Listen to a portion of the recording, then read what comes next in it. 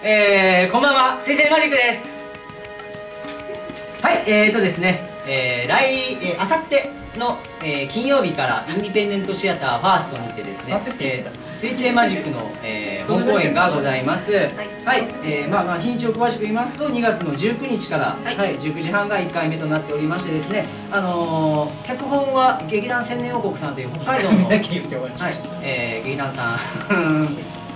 の、えー、台本を、えー、拝借しまして、えー、勝山周平演出させていただいております「星空発電所」という作品をやらせていただきます。僕はあの初めて見たあの演劇でこれを見て、まあ、あの始めた。それからまあずっとあのもがいてきた中で、まあ、いろんな出会いがあってご縁がつながってこの作品をさせてもらえることになりました。であのこの作品がですね演劇エキス演劇エキスポというですねあの、まあ、フェスティバル的なものに参加しておりまして他の劇場でもいろんな作品をやってますのでそれと一緒に「水星マジック」の作品ご愛顧いただければ嬉しいなと思っております。ぜひお願いいたします。よろしくお願いします。お願いします。はい